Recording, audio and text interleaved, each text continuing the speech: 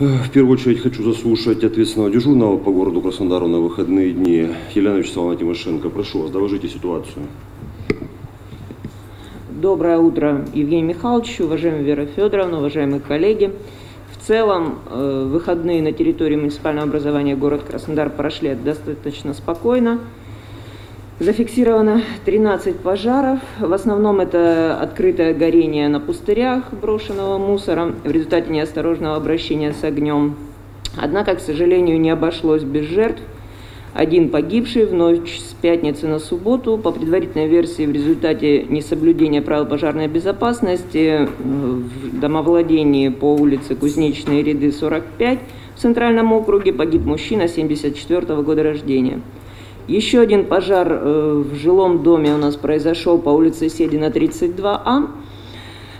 В Центральном округе в ночь на воскресенье э, в результате короткого замыкания произошло возгорание кровли и фасада 4 квадратных метра. Быстро потушили пожар. Э, дом в управлении ГУК обещают в течение двух дней восстановить, завершить восстановительные работы.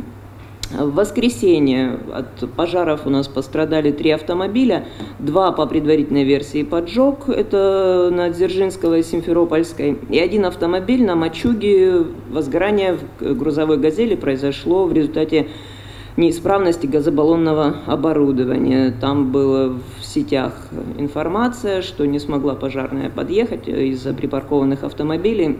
Тушение осуществляли в ручном режиме, развернутым гидрантом. Пострадавших нет.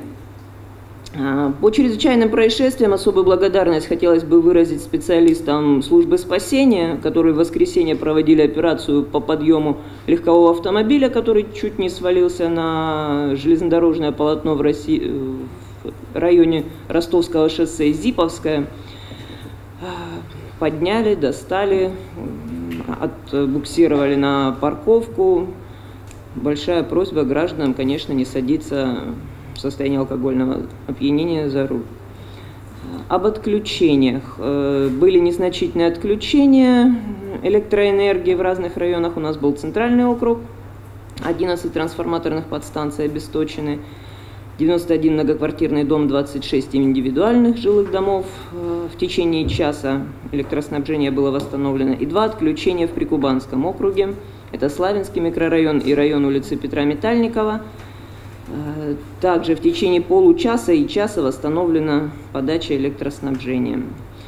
ДТП. Всего 124 дорожно-транспортных происшествия, 6 человек пострадали, один ребенок. И, к сожалению, один человек погиб у нас со смертельным итогом ДТП по Милютинской легковой автомобиль врезался в припаркованный грузовой, пассажир скончался, водителя и двух э, пассажиров доставили в БСМП и в краевую клиническую больницу.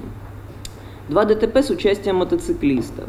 Один несовершеннолетний врезался на скутере в стоящий легковой автомобиль, пострадал, доставлен в БСМП. О санитарном состоянии в целом, санитарное состояние территории города в прошедшие выходные следует признать удовлетворительным. По результатам проведенного объезда были выявлены незначительные недостатки, которые оперативно устранялись дежурными внутригородских округов, э, департамента городского хозяйства.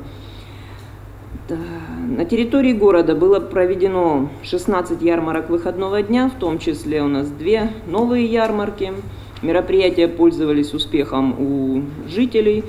Э, участники, количество участников достигло 840 человек. Это личные подсобные хозяйства, э, крестьянско-фермерские хозяйства Краснодарского края.